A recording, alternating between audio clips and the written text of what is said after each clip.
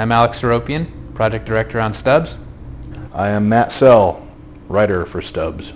Let's talk about where the idea for the game came from. Well, uh, we were all trying to come up with game ideas, and no one had any good ones. Mine were the worst of all. And I remember walking around one day, uh, my house just being sort of despondent that I hadn't come up with anything good, and I was trying to come up with a good action idea, and I thought, oh, what's a, where does action in games come from? Uh, you know, uh, you know, people running around, chaos in the streets, cats and dogs lying together, the dead crawling out of their graves. Hey!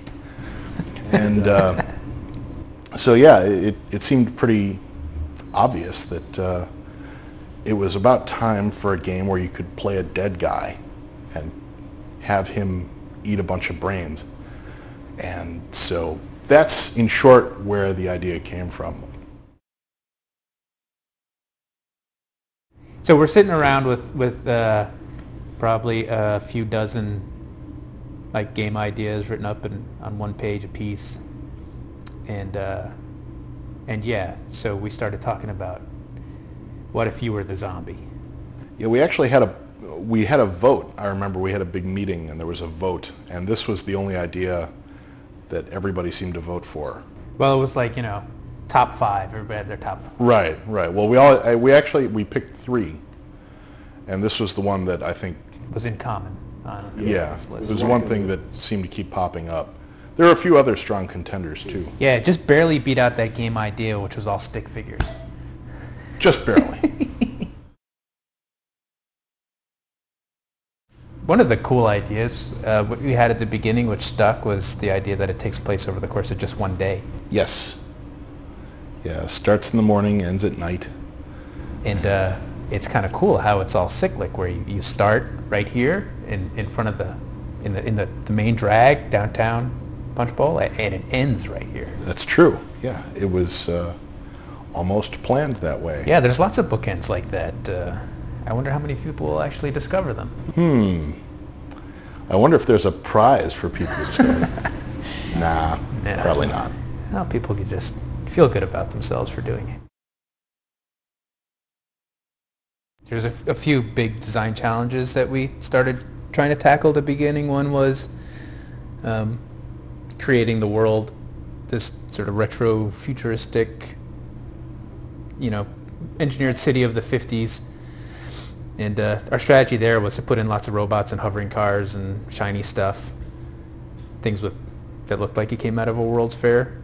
And we also tried, I mean, I, I remember looking up, trying to research stores and stuff from the 50s, trying to get a decent feel for what cities were actually like then and what someone in that era would want when they built a city of the future. Yeah, there was this great artist. Uh, his name was uh, Radebaugh, who, who drew all these. He was he was doing like this crazy art back in the 50s and 60s, and it was he had this whole series under the, the heading of um, The Future We Were Promised, which was, was, sort of inspirational for like our monorail and uh, you know so other elements of the of the city.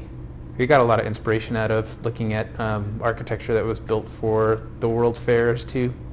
Yeah, you would be surprised at how much research we did for a game about a dead guy who runs around eating brains.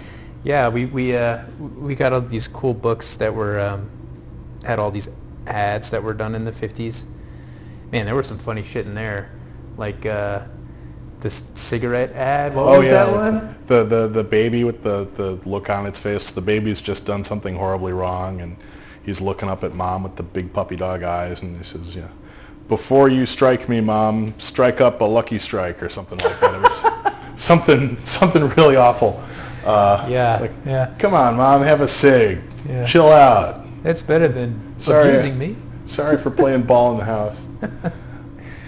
yeah, that was funny. And then I remember we, we bought this uh, stack of uh, like Life magazines and Time magazines from the 50s, and when they showed up, they were like completely covered with mold. So we had to stick them in the other room. We had we had to stick them on the other side of the office in an opened window. Yeah, whatever, whatever happened to those?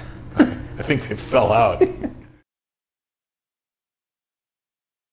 For all you trivia buffs out there, uh, my, my direction to Amy Warren, the actress who played Guidebot, was Carol Channing on meth.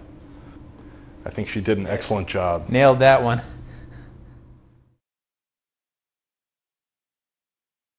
But yeah, that was another idea we had sort of early on, which was civilians as power-ups.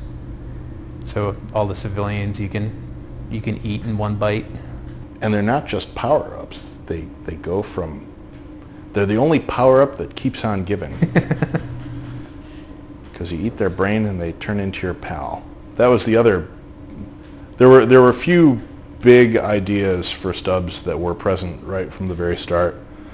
Um, one of them was the idea of conversion that you would that your goal would ultimately be to subjugate and conquer this city by converting as many of its citizens uh, into zombies as you could. And uh, the other big idea, I think, was possession, which is sort of similar in that you would be able to uh, use other people's abilities by possessing them somehow to compensate for one of Stubbs's deficiencies, like he can't get into a certain area or he doesn't have a bazooka or whatever it is. Right. Yeah, it's interesting. You know, I remember recently going back and looking at that one pager we had almost two years ago, and a lot of the design ideas that were in there stuck.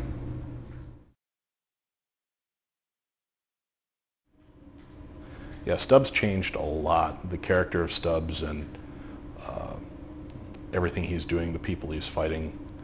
We went through, I don't know how many different attacks on that idea before we found something that we could live with. Yeah, man, it was amazing how many concepts we went through just on the look of Stubbs. That was a long, drawn out, painful at times process. Yeah.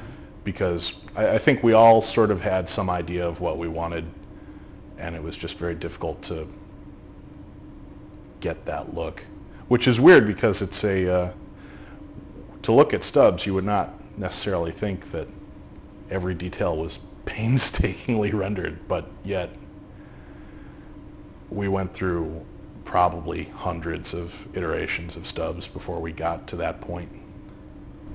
What were some of the, uh, I remember having this conversation where we were trying to get inspiration for what it would look like by thinking about like what actors he looks like and stuff. Oh yeah. that Who was on, who was that, on that list? That, that was a very interesting I remember list. Buscemi yeah. was on that The- list. Steve Buscemi was there. Uh, Tom Waits was there. Tom Waits, that's right. And uh, oh, the Don Knotts. Someone suggested Don Knotts. Alan Alan suggested Don Knotts. well, you can see a little Don Knotts in him. There's there's a little bit of Don Knotts in everyone, and Stubbs is no exception. All right, we're here at the greenhouse. Fabulous. I'm Patrick Curry, the lead designer on Stubbs. I am Matt Soell, the writer for Stubbs. And uh, this is a level that Matt and I uh, kind of did together. Um, Matt did the initial write-up uh, for the level and had a bunch of cool ideas about what the various environments would be in it. And then uh, I took that and translated it to uh, the world you're seeing in front of you now. I wanted to do a, a level where it was uh, sort of like the second level of another famous game I probably shouldn't mention by name, uh, where you were running around in big verdant hills and stuff. And I thought it might be cool if we uh, did that all indoors. And a greenhouse seemed like the obvious thing to do, uh, especially in Punchbowl where everything's all futuristic and you know they grow all the food for Punchbowl here. And uh, that was the the start of it.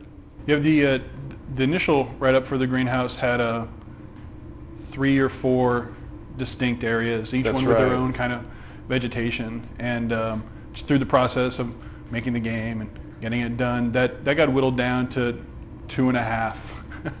um, the the first area is uh, the large hilly outdoorsy area where we introduced the first drivable vehicle of the game, which Matt promptly na- aptly It's, named. it's the Sodomobile. of course it is. It's for people who tend the sod, of course. I, I can't imagine any other interpretation of that name. And uh, I don't know what you're thinking, Patrick. I, I don't, me either, most of the time. Uh, and then the, uh, the, the second half of the level, uh, or I guess second two-thirds, takes place in what we kind of called the, the moon sci-fi area. And this is where the experimental plants were grown. And those, you might notice the experimental plants kind of like weeds, they ended up growing through the entire level. But uh, that's because there were some really cool concepts done, and uh, we liked them a lot, so we put them all over the level. Yeah, the, the very first original concept was that uh, Stubbs was actually going to fight some of those plants. Some of those plants would be sentient. Uh, you have no idea how hard it is to make a sentient plant in the Halo engine, and once you've done that, how hard it is to keep it from killing you in real life. So we took them out for the benefit of all you people out there at home. That's right. It's for humanity. Yeah. And uh, you can thank us by buying more copies of Stubbs and Zombie.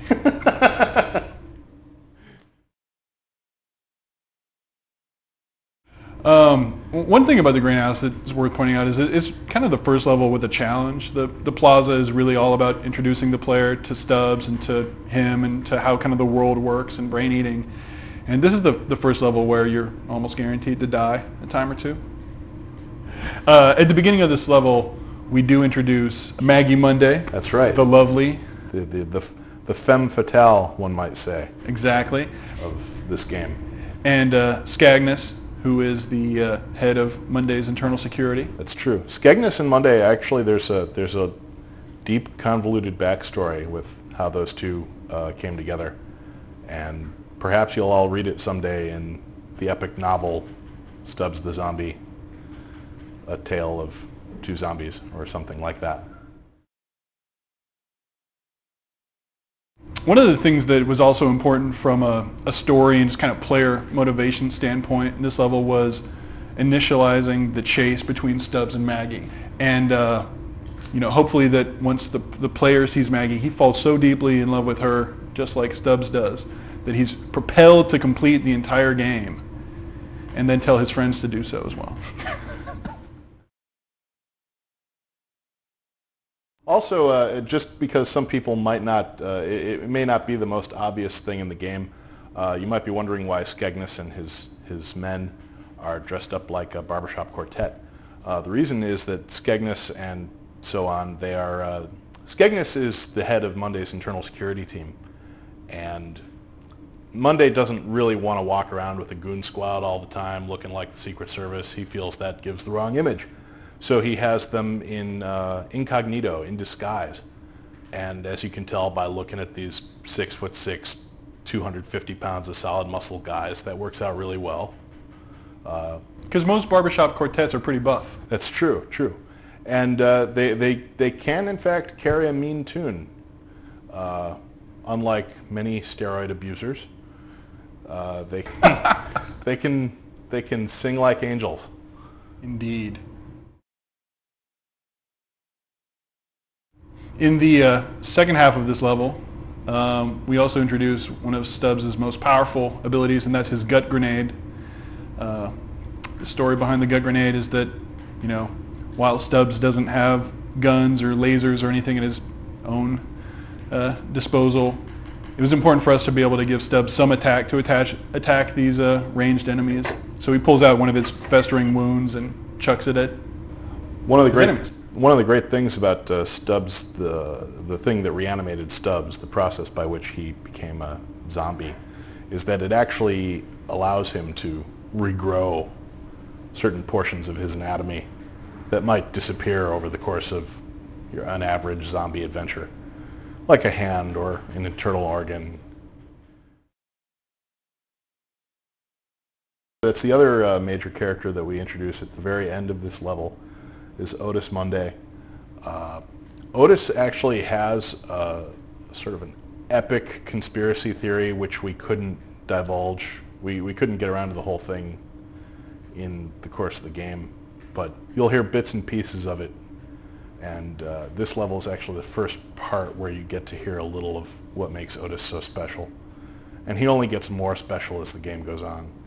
Yeah, I think we set up a lot of nice carrots with this level. We say, hey, here's a lot of the people who are involved that maybe you didn't see in the intro cinematic, and uh, you're definitely guaranteed to see them all again before the game is through. So I'm uh, Alan Turner, and I'm a designer here at Wideload. Um, we're here to talk about the level that we lovingly know as the police station. Um, it's interesting because it's one of the very first levels that we got functional for the game, and from it, a lot of the other um, basic gameplays that got enhanced throughout the rest of the game came out of this out of this level. Everything that you are expected to know how to do, you pretty much are, are learning it by this level in the game. Yep. This is Patrick Curry. I'm the lead designer, and um, like Alan said, everything except for the head in terms of abilities you have by now. And uh, like Alan said, it was the first one that we ever did. So we were kind of learning as we went with the police station, figuring out, hey, how's Stubbs going to work? How are the enemies going to work? How are the zombies going to work? Uh, how's this crazy hand thing going to work? And so we, we tried to uh, make a level that was conducive to teaching that to the player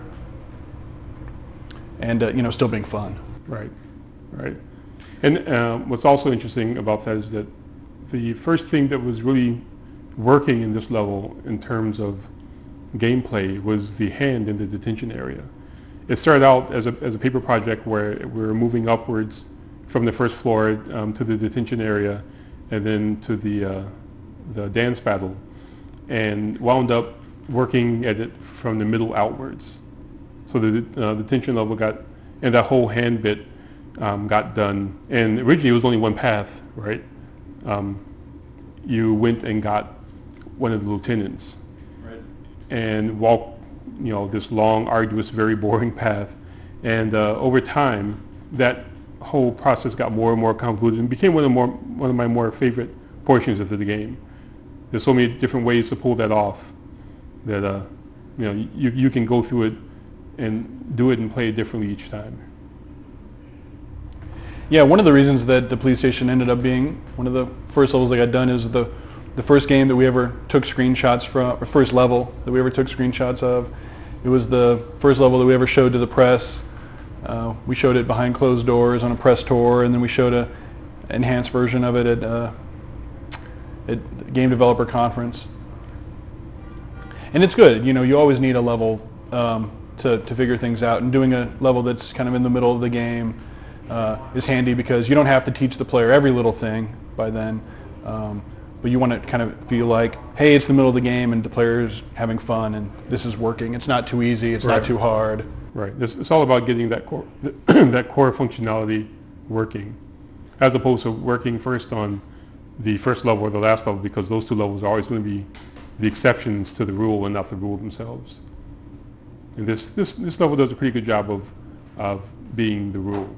What I also like about um, Police Station that came out pretty well is that each sta- stage of it builds slowly and then caps off with, with a very, you know, impacting, um, drawn out boss type battle.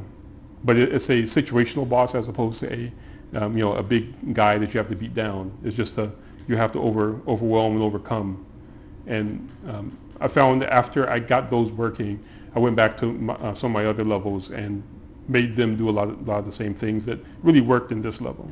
Yeah, they kind of became the prototypes, like the, the kind of king of the hill type battle in what we call the muster room before Stubbs is captured. Right. Turned out really well. It's really fun. And then what we call the gauntlet, which is uh, right before the, uh, the end of the level where Stubbs has to get through the super long hallway with guys coming in from either side. Um, both of those turned out really fun and are kind of signature moments in the game. Hi, this is Alan Turner, um, game designer here at Wideload, and we're talking about um, the mall. Hi, I'm Aaron, and I'm a artist working for Wideload. And we're talking about the mall. So, uh, yeah, this is A50 Mall, and th- th- th- this is another one of the early um, levels that got that we started working on. There is the, the police station was the first one we got functional, but the mall um, was probably one of the first ones we, um, we started building just to get the, i- the idea of what physical spaces should feel like um, when you're outside with Stubbs and what worked, what didn't work, what the engine could handle, what we couldn't handle, how, how much of a cityscape we could pull off um, within the limits of the Halo 1 um, engine. Yeah. I think we, we did a pretty good job. Yeah, this is actually the, my favorite level to play through right now. Good job, Alan. a, a good job, Aaron, since you're the one who made it look Oh, wonderful. I didn't really do that much. Just those gold curves that you see. All right, so um, what this is actually one of my favorite levels too. What I like about it is, like uh, the police station, you've got more than one way to uh, to get to where I want you to go. You know, I, I- believe when I watch people play it, most people tend to to hang off and run to the left, but you can also run down the right, and you get a slightly different experience when you go down the right. Um, there's and when you play it co-op, doing both of those things. Uh, with with players throwing hands, possessing people, going all over the place, having guys in the overpass, having guys underneath. That whole thing just is crazy cool. Yeah, I really like right here how you can get a whole horde of zombies, and when you go into the garage and like you look back at them through the, you'll see them all start to. That guy has an axe. Why does he have an axe? That's awesome. So, what, what was also neat about this was that um, in the early incarnations of it, you could see from inside the mall out to the streets. And uh, well, when, when it goes was it was supposed to be one of these old school um, concrete malls where you could walk around, look look outside, um, and you know fall to your death if you weren't careful. And what we found was that as cool an idea as that was, it just was turning out to be not very practical frame rate frame rate wise um, for the engine. And we were pulling hair trying to figure out a good way to make make that make it still look like a mall on the inside. And we, what we wound up doing was putting in these snazzy um, windows that are kind of like uh, they're, kind of uh, they, they're, they're collision barriers. They're they're not really windows, but they have this neat flare. I don't know if you can tell us more how that works. Well, it, what's what's great about it is that before the frame rate was like five frames per second, as you could see outside, and it was drawing everything. And then, uh, you know, it just it just looked like a regular park uh, parking garage with like you know, the without the the little haze. We couldn't get the haze in there until we put this. If you look closely at the windows, there's like this white little haze coming off, and I think it actually made the game. You know, it made it look like creepier. You know. Right, it did. It, did. it, it adds this sort of old school Yeah. film grain bloom Yeah. that, the environment. that uh, makes it, it, it actually is weird because it actually makes the insides feel bigger now that that's closed off, where before it felt kind of small and cramped. There, um, the other things that was neat about this was it was an opportunity to play around with various ideas on choke points. Um, one of the first ones you encounter is when you're going through the overpass and you get you get the ability to use your head. Um, there's a mob of riot cops, and then at the elevator there's this mob of lieutenant cops and beat cops and taser cops, and up until that point, there's just kind of the, there's a slow build, and it doesn't ever really get too intensive. But when you hit that point, it's it, it brings you to a screeching halt. So if you are trying to charge through the level, you hit there, and suddenly you have to fight, and it's a pretty tough fight. If you if you play this on insane, it's it's pretty insane. I usually let my zombies do all the work for me there. Just hang back. Yeah, Uh, yeah. This is great to see it in um, when you play it in easy, and a little bit on normal, but more so in easy, where you can really build up a nice sizable zombie horde, and it, it- it's kind of neat when you, when you get up one length of the uh, the garage and you look back and you see this horde of zombies just coming through, mauling through people. That's just that's that's satisfying. There's a certain cathartic power. the, the other part of this level is the promenade. There's like, it's, it's two sections, right? There's a garage area and then there's a promenade. And the promenade was just basically, the idea is it's this long um, outdoor mall of stores and shops and movie theaters and, you know, the entertainment sec- section of Punchbowl. Um, and what's, what I always thought was cool about the promenade is it has a slow upward progress to it. So you eventually get to this point where there's this ramp fight. And the ramp fight in there, um, we actually uh, initiates from our, one, one of our old demo levels when we were first trying to shop the game around. Um, we had this, a lot of it was based on this whole um, taking of a bridge. And it took the idea of that, that we had in that demo level because it just seemed so cool and, and built it up into the fight that's, that's in the mall right now. And you know, when, once you got people coming in, delivering things with cars and, and uh, all kinds of folks shooting at you. And, and this is the last time you, you see the, the police. So every, every police character in the game, except for, uh, um, except for the chief, is in this, is in the garage and in the promenade section of the garage. Okay, um, this is Alan Turner again, and we're looking at ACE, um, the mall fight. The, I guess the official name is A60 Mall Fight, but it's, this used to be a portion of the mall, and um, the mall got so huge that we wound up having to chop this off and develop it uh, by itself into a, a brand new level. Uh, I'm Chris Cobb. I'm one of the artists here at Wideload. I came in on the end of this level and polished it up, tried to get it looking good for the kids at home.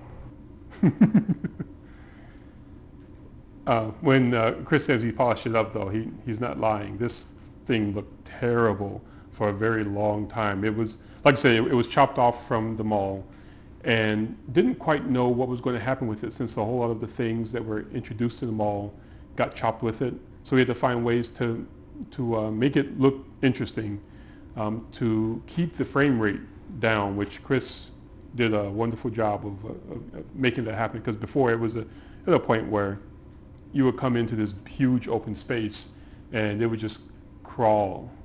You know, if you got anything to say about that, this big uh, yeah, basically, I think it was just uh, cut in half. I think he used to be able to run all the way around the thing. Right. And uh, so basically, this is a it's a U shape now, and it's all elbowed off, unlike many of our other levels. Um, so yeah. Uh, so in, um, in that this was initially part of uh, the mall, it was originally the introduction of the militia, and the militia were going to be introduced midway through the mall, and they were going to be fighting with cops and and all kinds of other crazy things, and there was going to be like this this neat little three-way fight, and the uh, it, it, just wound up not being being a practical thing for us to do in the course of, of uh, developing those levels. So here we, we, we, just toss you right in with the, the militia. You uh, find out about them a little bit through their dialogue, a little bit through um, what's going on with Otis and uh, and um, the uh, the big guy, the boss at the end of it. Um, yeah, I, I'm not sure to say. that This is this is not necessarily one of my favorite levels, but it's one that I really, towards the end of the, the process, started to dig just because it looked good. I mean, even even though some of the play wasn't what I wanted to be, the the visuals here were so cool that I found myself just wanting to sit back and hang out and look at the water spouts and yeah, the skies. This did turn out to be one of one of my favorite levels. Um, it yeah, I don't know. It just it just turned out all right. It, when I got it, it was uh, pretty barren, but I just threw in some those little grass uh, median type things, and you know threw some trees in. It's always easy to spice up an environment with a bunch of organic plant life. Um, every mall's got to have the the spouting water fountains, so those add some nice atmosphere to it. So we. Uh the interior went through a, a, bunch of different versions as well. There was initially a, a, long dungeon crawl in like in these low stores before you got to that central atrium area. And we uh, this just decided that the atrium area was so much more impressive and so much more entertaining to, to uh, fight through than any of the other stuff there. So I think we just make this whole level into a, level of vistas. So you've got this big out, outside area where you, you can see as, as, as far as you can see. And then when you get inside, you're, you've got this, this scope that you look up, you see the sky, you see everything else around you. And it, it was a, a real hassle with the portals trying to make all that, that work, but I, th- I think it came out pretty well. There's the, the boss fight, which um, came out pretty, you know, it came out pretty interesting. It came out pretty well. It, it was um, initially a, a, fight that involved a, a, lot more zombies and a lot more animations than um, we necessarily had the time for. So we had, we had to, to, to, cut a few corners, but I think the corners we, we cut wound up making this really tasty. Once we added the, the music that's in the background when you're fighting, uh, when you're fighting Jumbo, before it was just this very dry, open air, Jumbo's yelling at you uh, as, as he's chopping at you. And then um, Alex came to me and said, hey, why don't you add in the banjo music? And I did it, and wham, it became this hilarious fight with a man with a chainsaw, something didn't think I would ever see anywhere. As far as my part in this, I just uh, went in, tried to spice it up a bit, tried to, you know, we have a difficult mix of uh, past and future with a lot of these levels. So it takes place in the late 50s, uh, but a lot of it's supposed to look futuristic. So uh, took a few different elements of the interior of the mall here and just tried to spice them up with the little walkways and the the uh, escalator type things looking kind of flashy and futuristic. But then a lot of it with the concrete walls and everything looks, I think, pretty pretty uh, old school, I guess. So it's a it's a it's an unusual combination, but I think it works better in this level than well, it works pretty well in this level, I think. When I uh, first was trying to figure out what this atrium should look like, I wound up walking around in a bunch of uh, levels, not levels, I'm sorry, a, a bunch of malls here in Chicago. And I, think the one that inspired this the most was probably the uh, Water Tower Plaza here. Um, just because you, you, there's this wonderful central elevator thing that they have going on.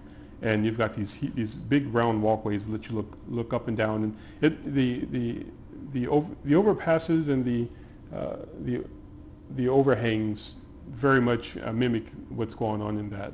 If you ever come get a chance to come to Chicago, know, you should definitely go check out that mall, but don't go looking for any zombies in it.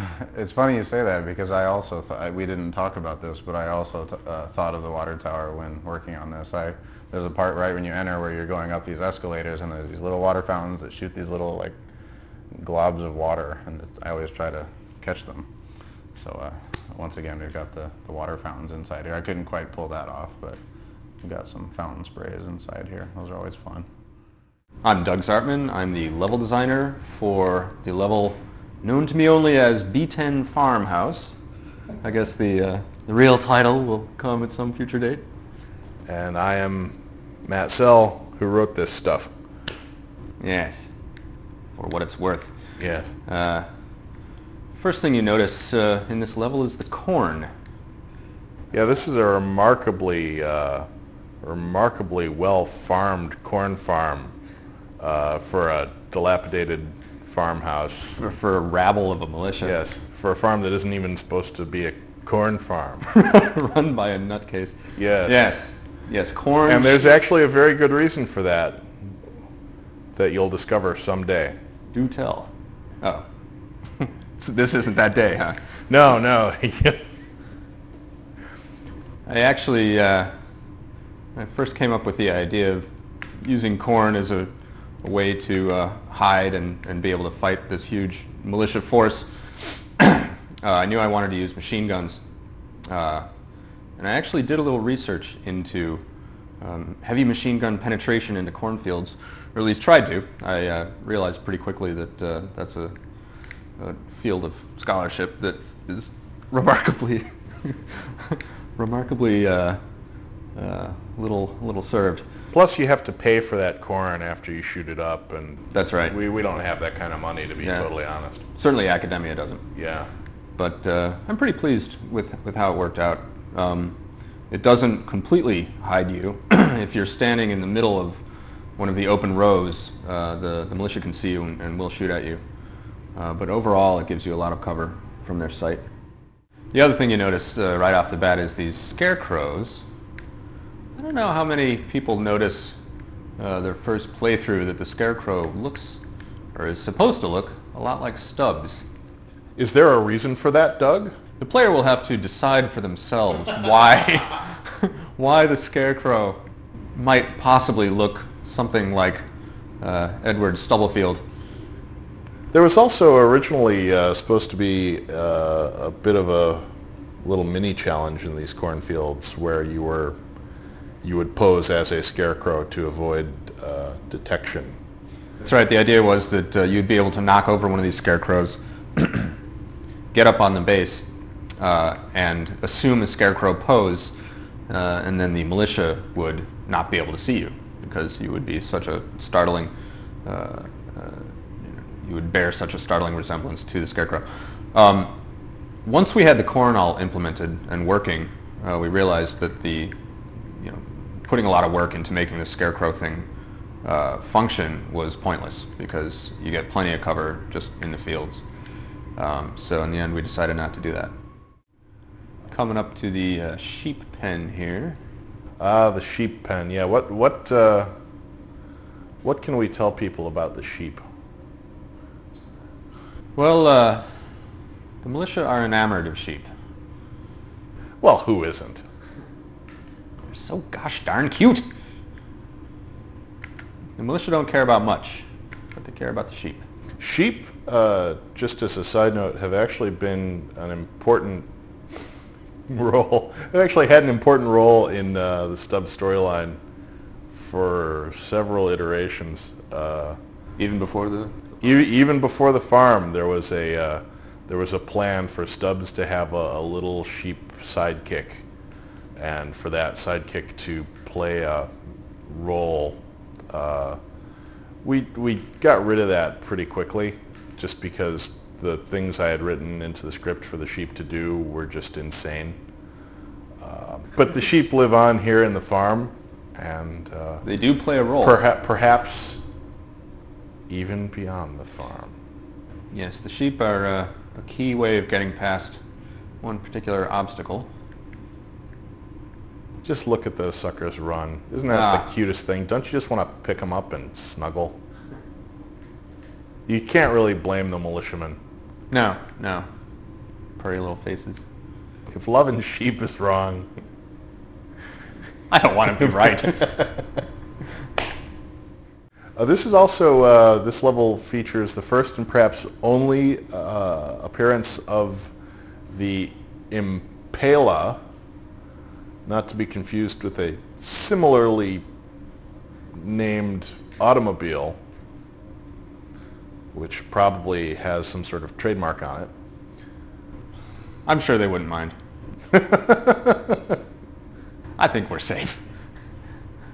Yeah, this, uh, I know everyone is, once they, they drive the tractor, they think, why can't we have a tractor-on-tractor duel? And the answer is that it isn't, we tried that, and it wasn't really very fun. it's just more fun to stick people. Yeah. With the skewering and such. Yes. For those of you who've been wondering why uh, Otis Monday lives on a farm called Knob Cheese Farm, uh, there's actually a convoluted bit of backstory I won't get into very deeply here. You mean a rich and well-developed backstory? Yes, a rich and well-developed backstory uh, about Otis Monday and his uh, prior existence and how he came into possession of the farm uh, after his lengthy and bitter rivalry with the Knob family. Uh, a feud, one might even call it. They had their own militia, didn't they? Uh, it's yeah, It's it's, the Knob militia. it's it's it's a long story. Coming soon in novel form. Yeah, not really.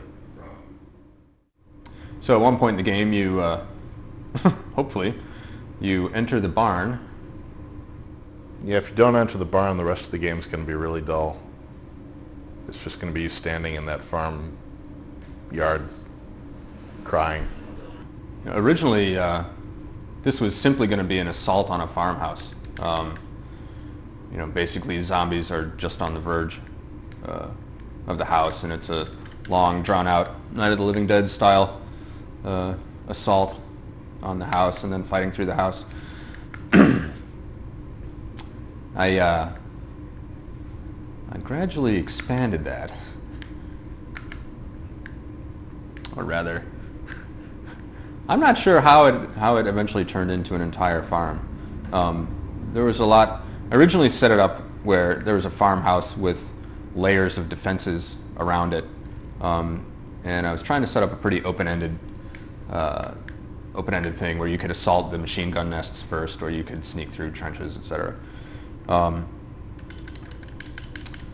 that later proved I was I was discouraged from actually pursuing that uh, that particular design um, simply because players need need some direction. They need they need uh, to be told uh, pretty clearly you know, what they have to do next and You going to take they that need from some him, players? indication. need some indication. You fools! Um, need some indication of what to do next. And my original implementation of the house surrounded by defenses really, really didn't have that. So, so this this uh, level gradually became more and more linear. with the uh, defenses being presented, uh, you know, more sequentially. Um, It's still a lovely pastoral romp. I mean, it's you get to see uh, you get to destroy a whole farm. oh yeah, Haven't you always I'm- wanted to I'm do pretty- that in a game? pretty pleased with how it worked out. Actually, it, I mean, it was weird. I uh, when we were originally trying to come up with the uh, story for this, uh, I, I never anticipated that we would leave Punchbowl. I always figured we would put you in this one setting and uh, and keep you there. And I figured that Punchbowl being what it was, there were plenty of opportunities for us to, to make everything interesting. And there are. Uh, one of the things that people kept saying was, oh, well, we got to do some sort of, you know, zombie versus farmhouse level. And uh, th- that was just, I mean, even from the very beginning when we were coming up with concept art, one of the first things uh, Mark Bernal, our artist, did was mock up a shot of Stubbs assaulting a farm. And uh, it's actually, it, I, I'm really sort of happy that we have it. Uh, it, it worked out really well, and I, I kind of like the idea, the, the break that it gives you from, uh, you know, you get to enter Punchbowl and, and have some fun there in the first third, and then in the second third of the game, you uh, you take a little walk outside, see that there's a, a bigger world, and uh, then in the third third of the game, you You go back You- to you- finish the job. That's right. So we uh, we make reference during a cutscene in this uh, barn to a famous movie. If you're very young or just culturally illiterate, like certain members of this development certain, team. certain members of the Wideload staff didn't recognize the movie we were referring to. Not going to name names. oh, Christopher. Uh, but uh, but yes, this was actually. I think Doug's original idea was to have a sort of uh, a Braveheart speech, Yes, the, the classic rallying the troops before the big assault. and I uh, I twisted that into the Patton speech uh, for a couple reasons. One, because it's not a Scottish zombie, and uh, I just loved the idea, the, the iconography of, of Stubbs in front of the American flag, uh, rallying his his undead minions. Uh, one thing you may not notice, uh, one thing we've wondered whether we should explain to you, is the you'll notice the flag on the door of the barn has two stars crossed off. And that is because Otis Monday refuses to acknowledge Hawaii and Alaska as states. Now you know. And knowing is half the battle. Boy, I hope that isn't trademarked. And who's the voice actor on that uh, particular speech? No one knows. No one knows. No one knows. Man It of just mystery. Brian knows. Brian's about to mysteriously disappear. Well, whoever he is, he did a bang-up job. Stubbs actually, uh, yeah, his uh, his performance here was the stuff of legend. One of the amazing things about this farm is the incredible, uh, incredible stability of the hay bales as compared to the doors. Yes. They sure knew how to pack a mean hay bale at this farm. And you know, funny thing about those hay bales, uh, when we first got the hay bale uh, scenery object uh, from from the artist who did the first pass on the model, um, the it was strapped wrong. The uh, the straps went around the middle like an equator instead of instead of having two straps around the uh, the long end as it is. And to me, this looked totally wrong. I worked in a stable uh, for part of one summer as a kid, and I knew what a hay bale looks like, and, and it looked just ridiculous and wrong to me. Uh, and I had to fight to get that changed. Alex didn't think there was anything wrong with it. Uh, he was like, no, we're not spending the time to change the straps on the hay bale, but I'm glad we did. Do you see the sacrifices that Doug makes for you, the player? Fought for, look at that. Well, can't say. You would have had a subpar hay, hay bale experience were it not The realism of this world would have been completely blown. That's true. This is no farm. That's why we licensed the hay bale engine. Yes. Well, actually, one thing I want to say is that uh, this is probably the, the one level where you get to hear Otis the most, uh, which is a good thing, I suppose. Um, Otis does get uh, get to deliver a little more of his uh, his worldview, which is which is unique. I guess it is a worldview, isn't it? It is. It is. It's a. It's a. What do the Germans call it? A Weltanschauung, or yes. And uh, Otis. Otis would probably shoot you for even saying that. But yeah. So Yeah, the, he uh, covers all the bases. Yeah. Well, the not not quite all of them. The I think the rest will be covered in his forthcoming. Uh, Novel. yeah.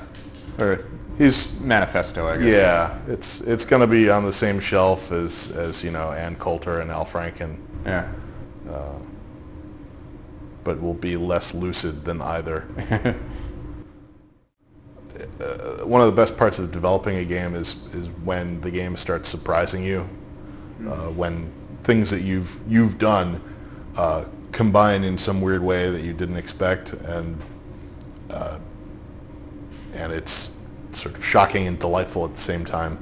And definitely, I, I think combat dialogue for me is, is one of the, the things that uh, tends to combine itself in, in weird and unusual ways that sometimes work far better than I could have ever expected. Um, one of my favorite moments during development was when uh, there was uh, a test level we made and there were two police officers chasing Stubbs and the cops were rather trigger happy at that point. They'd fire at anything, through anything, including each other, uh, just to get to you. And so two cops were chasing me and uh, one of them fired point blank range into the back of his friend and his friend turned around and stared at the, the gunman who said, it wasn't me. Uh, and I've told that story a billion times and I, I've told it better every other time. um, What I, I guess the one I love the most is the brilliant understatement uh, of the medium militia uh, when you shoot or rip off one or both of his arms and he says, that ain't good. I'm Alex Seropian, project director, Stubbs. I'm Christopher MacArthur, a programmer. Yeah, Christopher and I basically did this dam level together. I, I, I kind of did a first pass and then uh, Christopher picked up all my mess and made it good. Originally, uh, in the beginning here, there was that tour bot kind of gives you a, a tour of this area of the dam, and uh, the robots hit on her and stuff. we, we took out of some of the her dialogue because it was just you know Robots get in the way can of be kind of chatty. yeah a little they? too chatty. Yeah. Got in the way of some of the fighting sounds. There's a, how many lines of dialogue would you estimate there is in the combat dialogue? There's a lot of combat dialogue. Yeah, there's a lot. I don't know.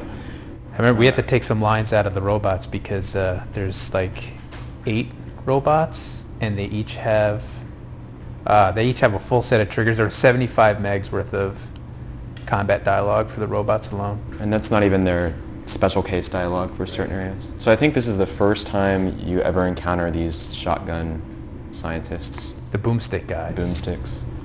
And originally I wanted to do something cool with them in here where you would burn their faces off with like hot steam, but we got concerned with the uh, amount of particles in this room and so we kind of just made it a cool fight. But, and kind of moved that into the next water rooms which have, are less particle intensive. So it's the first time you fight these, both kinds of scientists actually. Yeah, so instead of doing the burning off their faces with steam, we did sort of a little optional choke them with gas in this room, which is you, you have all these these vents on the on the ceiling and blowing the fresh air into this room, but once you turn them all off, the room fills with the poisonous gas. And they choke to death. And this is the, the first level where you, you use your, your whiz as a real mechanic. Yeah. Yeah. So originally we this actually the dam is the combination of of two levels that we designed early on. One was was um, uh, taint the reservoir, where the whole idea of it was to fight your way to the reservoir and then just take a big old pee in it. Um, and then the other level was breaking this huge dam. That that's an, another. We had this. We've had these ideas where we want the zombies to to break stuff in the environment. So we had this crazy idea that you would, you know, bust a whole dam.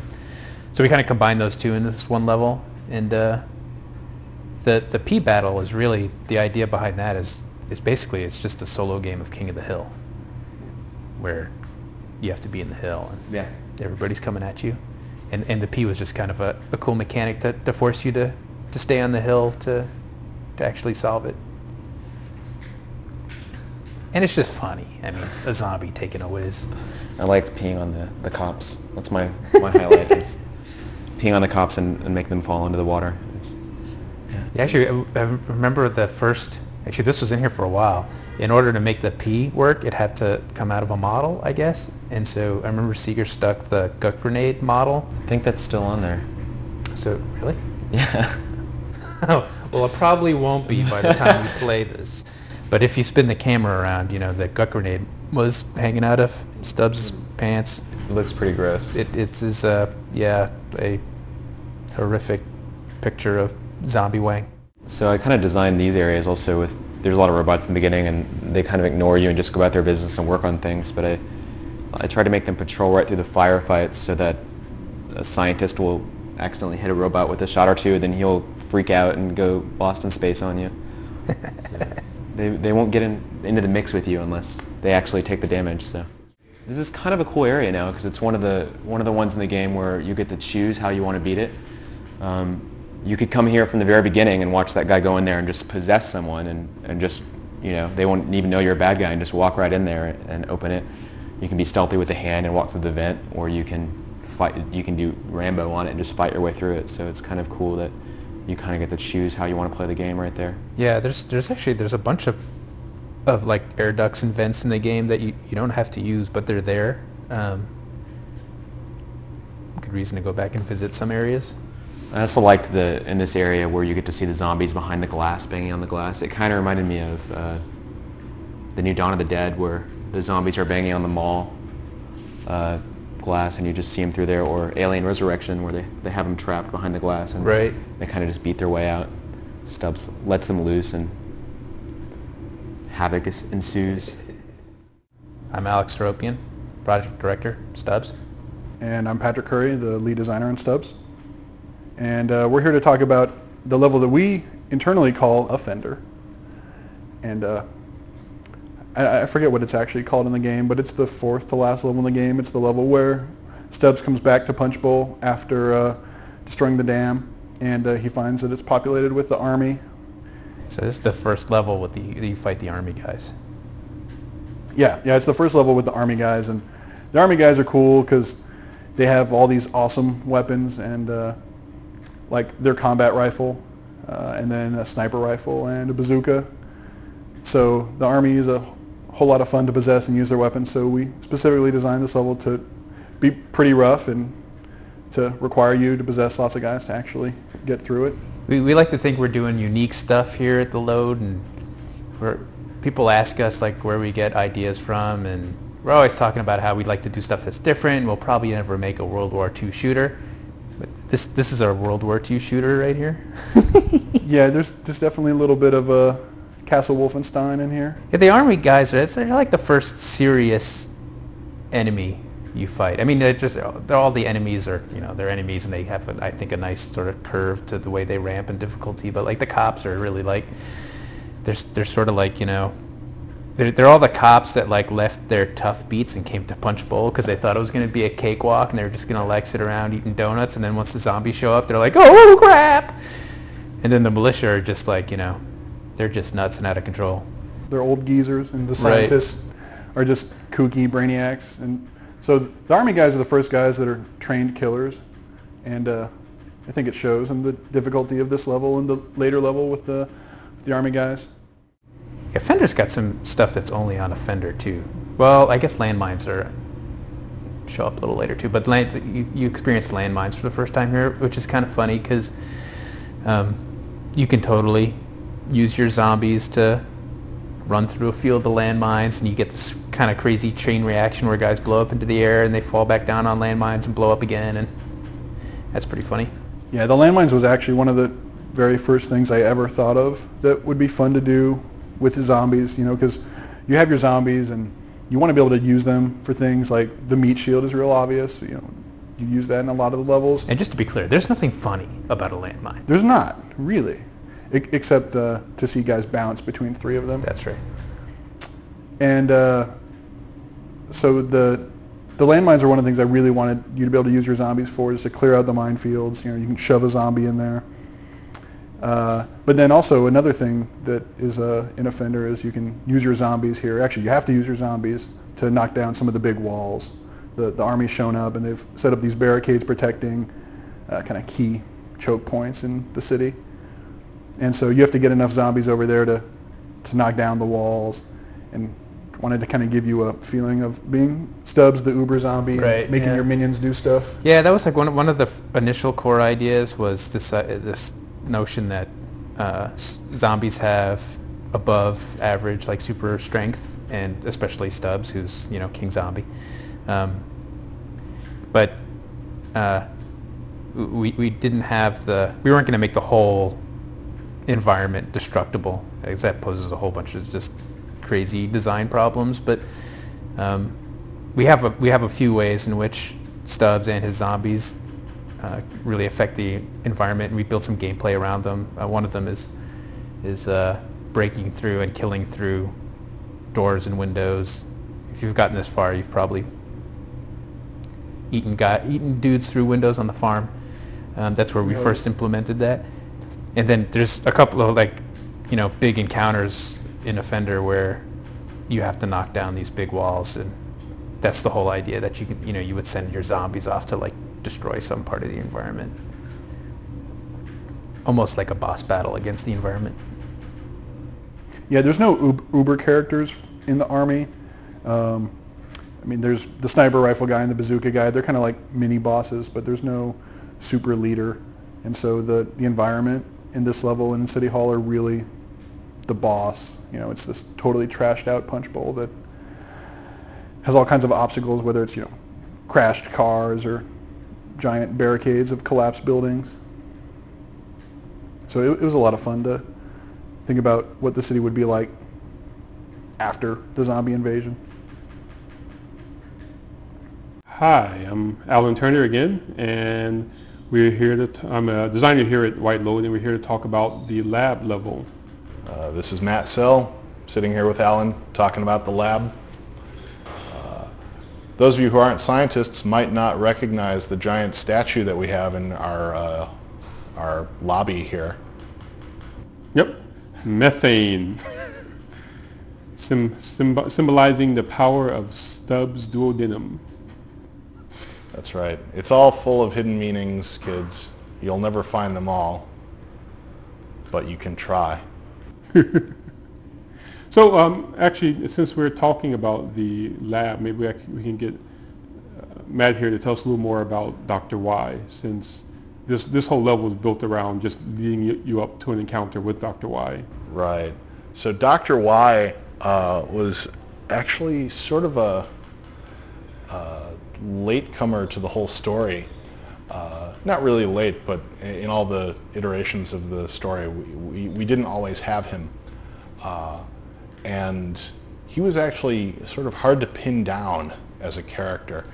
Uh, but he is, he ended up being this uh, uh, cross sort of between uh, the absent-minded professor and Dr. Mengele. Uh, he's he's this sort of uh, guy who, who he's not really evil. He's not a bad guy. He just I call him ethically challenged.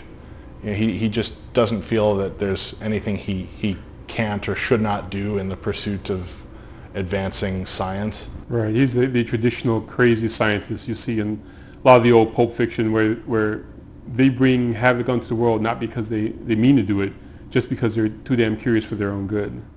Right, yeah, so one of the challenges with the scientists in general was we didn't want them to do the same thing that everybody else had. Um, you know, not more guns and pistols and batons and all that craziness. But we did want you, we wanted you to get two, um, we wanted to get two things across. One was that they are the source of most of the weapons and uh, scientific oddities that you see in the course of the game and that they've still got things hidden away that, that you haven't seen yet. Um, we wound up actually introducing them earlier than we had anticipated. They're supposed to be um, only in the the lab, and they wound up being pushed back to the was it the the dam where they're first seen? Uh, I think maybe even the greenhouse. Yes, You that's see right. them in the greenhouse, which is second level. But uh, the, the deal was is that we wanted to give them weapons that kind of represented the, the time period, right? So they've got these crazy ray guns that shoot this crazy fat ray, and the, the, the beams and the ray guns are kind of inspired by the uh, the beams in the Forbidden Planet. And uh, there's a point where, where they're shooting at the id monster, and there's just like these these these kind of stupid, obviously drawn in laser beams that in their own way look kind of cool. So we, we figured that that, that would be the basis for the, the stuff that we have. At the same time, there's a there's a certain liquid nature to, uh, to, the beams that, that, that that gives them this kind of etheric science um, thing going on. So they're, they're not lasers in the traditional sense of uh, what we would think of nowadays. They're like this fat, fantastic laser blast that, that splatters and sprays and whatnot. Um, there's also the, the, the boom gun. And the, the boom gun is that, that weapon that shoots these, the string of rings. And what's neat about that was uh, it was the, the first weapon that actually was, um, well, actually the only weapon where you could actually manipulate someone. Uh, with, with, with that, you could push things back and push them up against the wall and then move them to places you wanted um, them to go. And so when you're fighting with them on the dam, you can, you know, pick, pick a guy up, throw him over the edge of the dam. And I think it was ultimately that weapon that got them spread out um, to a couple other levels in the game. Um, but what makes this a little more deadly than it, it is in other places is that the spaces that you have to fight people in are much tighter than they are in the dam. So you are you're forced into these these really close count these close quarters um, fights where what seemed like a small irritation before of, a guy who's shooting you here and there becomes this extreme irritation because uh, if you if you leave, leave them alone long enough, some of them will go berserk and just hold down the trigger, and, and the, the guys with the blue lasers would, would just rail you. Another thing, there's actually two classes of scientists. You can uh, hear the difference in the audio actually. The, the uh, head scientists, so to speak, are the ones with the British accent, and the uh, assistant scientists are the ones who have that sort of uh, lab monkey, weirdo Peter Lorre quality to their voice. And the, the, and the other ones also shoot the pink ray, That's true. and the blue rays are the are the lead scientists. Um, For all you train spotters out. Uh, th- this was also um, on the, one of the levels that inspired the idea that, that the robots were an environmental enemy. That they're, they initially don't attack you directly. Um, they're just kind of there to help you out. But as soon as they take damage, they flip out and start to attack anything and everything in sight. Which makes them um, kind of cool in, in, these, in these close quarters fights because you get a, if you know there's a robot in the area, you can hurt a robot and run and know that he'll tear up um, the, the scientist, and the scientist will have to shoot him. He explodes, and you take out robot scientists, um, everything else in sight. The battle with Dr. Y, however, the, the idea was to take all the weapons that, that, you've met with the, the scientists and take them up a notch. So his the, the, the, the main crazy blaster that he shoots, that red ray, is um, just an extension of the ray, the red ray that the the assistant scientists use, and the the uh, the big knockback ray that he that he fires um, to push you away from this the central obelisk thing is just an extension of, of the boom gun. But what's was what's, what makes what makes them cool and different is the fact that they're continuous. So they're much more like the the inspiration for both those beams is sort of like the ray, the death ray from the old um, War George Pal War of the Worlds, where the beam is just like this continuous blast of pain and devastation and destruction. And I think that, that worked out pretty well. One of the uh, one of the things you may have noticed as you're playing through the game is that there's there's not a whole lot of diversity in Punchbowl, and uh, when you get to that boss battle with Dr. Y, that's actually sort of explained. Uh, the uh, yeah the the the only thing that's missing in a, a perfect city is a, a perfect citizenry, and so Dr. Y creates it for his boss. Um, and that's why you don't really have to feel terribly bad about eating all these brains.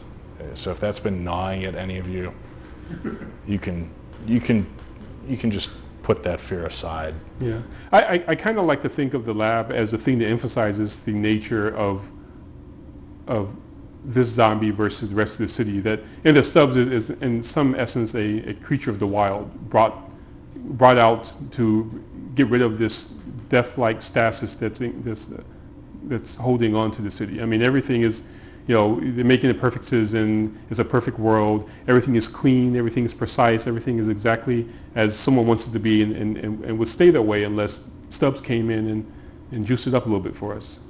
That's true. I actually, I've, I've spoken about this elsewhere, but uh, one of the big inspirations story-wise for Stubbs was Poe's The Mask of the Red Death. And one of the things that I, I think uh, Stubbs, the zombie, owes to that is just the idea of uh, a person who, who tries to build a wall big enough to keep all the chaos out. And he can't. There's, there's just no way of doing it. Uh, but unlike uh, unlike Mask of the Red Death, which is just straightforward tragedy, uh, we we try to look at it sort of from the Red Death's point of view and see what a party it would be.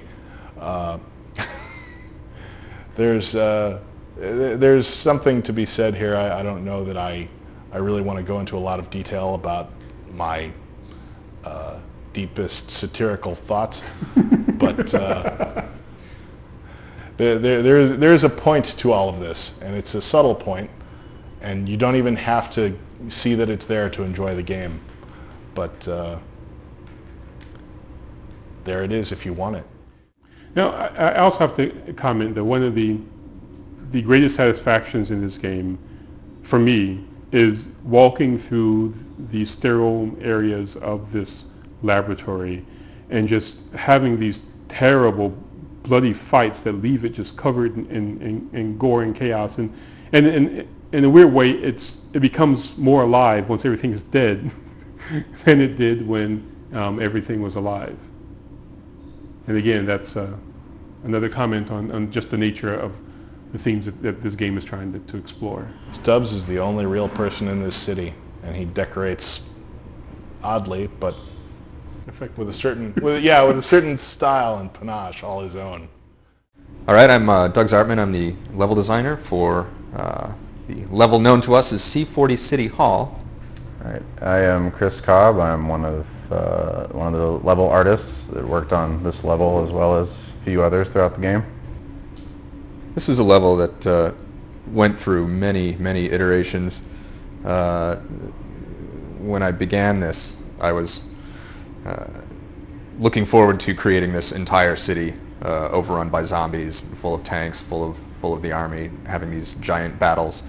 Uh, and so I actually designed it that way. Um, this was originally uh, about 10 times larger uh, than it is now. Which is pretty amazing because it's still very, very large. Yeah, the, the sight lines are just ridiculous. Um, so there was this continual process of, uh, you know, chopping it down and then blocking off streets and, and uh, you know, making it much more uh, manageable. Yes, it's quite an effort keeping designers uh, in check. That's right. This kind of thing. Neat thing about this this level is that this is the first uh, first one where you're you're spending a lot of time uh, in vehicles, uh, not just vehicles, but but tanks that uh, can actually do a lot of damage. Um, so the the long straight streets uh, certainly uh, you know were, are conducive to to that. It was sort of tricky because a lot of this was a lot of the vehicle action and encounters were designed before uh, Chris came in and actually messed up the streets, which made the vehicles stop uh, stop working half the time. Right. Well, uh, yeah, that was my job to come in and put some huge craters in the ground. But I think uh, they actually some of our we had got some happy accidents out of them with uh, things like jumping the jeep off of the uh, big craters. Yeah, exactly. And taking shelter in the craters against fire. Um, I didn't really design a whole lot of places where you could hide uh, in these streets, and so the craters uh, were were a great addition for that. So uh, yeah, as Doug was saying, I think this is the first level where you actually get to see the tank. Um, is that true? Um, you see it right at the end of uh, Offender. Okay. Well, definitely the first level where you get to drive. you the drive, tank. drive it. That's right. Yeah. Um, pretty. The tank was quite an undertaking. I'm pretty proud of it. Uh, yeah, getting all the, the treads to work accurately and all that was, was a pretty big deal. Hopefully you can actually see it. You can't see uh, a lot of the underworkings of it a whole lot when you're actually driving it, but when the AIs are driving it around, hopefully you'll get to see some of that. So that turned out pretty cool, I think. Hopefully it'll be fun to drive around and do some damage. All right, so this is the uh, the approach to the interior of the city hall level. Um, yeah, when I first got my hands on this, it was en- enormous. It's still pretty big, but it was a good three times larger than it is now. And if what I've heard is true, it used to be even bigger than that. Yeah. So that's that's uh, quite amazing. But it, I think we still maintained a pretty good size here. So it's a good little backdrop for the tank battle here. The early stages of, of placing AIs on this uh, level and you know setting up fights. I was constantly like changing the fog, you know, bringing in the fog closer and closer and closer to try to get keep the frame rate uh, decent. But Portals took care of that. All right, all right. So yeah, a lot of uh, a lot of landscaping went on here. A lot of uh, we got rid of some. We had, used to have two statues in here. One of them was a bit uh, phallic, so we got rid of that one. Um, put in nice big Monday statue to properly enhance his ego, right in the middle. Um, Yeah, we couldn't have anything obscene in this game. You know, no, no, Absolutely no not. innuendo. no, we were Uh, this a classy right. game, classy Yeah, game here. yeah. So yeah. High road all the way. So the good thing about it being big is that even when it, it when it is full full of scenery, uh, you know, and things that can can block your vehicle, uh, it's still big enough you can get around and, and find some paths. Uh, Right. I was worried when space. I put in some of the slight elevation changes here. I was a bit concerned that the tank wouldn't be able to navigate in there very well, but it seems to seems to do okay getting even up and down. AIs are usually pretty good Right. following their move points. Yeah. I think if anything, it makes it a lot more interesting terrain to navigate. we went back and forth and back and forth on uh, just how well armored the tanks are because, of course, when you're fighting it on foot, you know, you're fighting it with grenades and, and the flatulence and, you know, not much else. Uh, and so we had to make it possible to kill the tank in a reasonable amount of time uh, when you're on foot. But then when you're in a tank yourself, uh, you know, that that level of armor meant that, you know, you could kill the kill the thing with two shots, sometimes one shot. So there's there's a lot of trickery going on uh, behind the scenes to make to uh, you know make the tanks stronger when you're fighting them with a tank than on foot. Right, which is, which is I'm sure difficult because you want the tanks to feel very powerful. Yeah. But uh, so that's a tough balance there. I'm Doug Zartman. I'm the level designer for C50 End, the interior of the City Hall. And I'm Matt Soell, still the writer. The City Hall is the last holdout for Monday and his cronies. The, the, this is also the level where the various uh, secrets are revealed. Dark, dark Monday family secrets. Things only a Monday would know. And not even Andrew Monday knows some of that. Surprise, as much of a surprise to him as it is to you. Yes. This is a level where our promise that this is a love story uh, is actually fulfilled. I mean, you do Or at least see- our claim the love story is. Well, no, I mean, you see Stubbs earlier sort of swooning, and this is the level where he uh, he makes good on that swoon. everything between the greenhouse and now has just been a, an attempt really to get closer to Maggie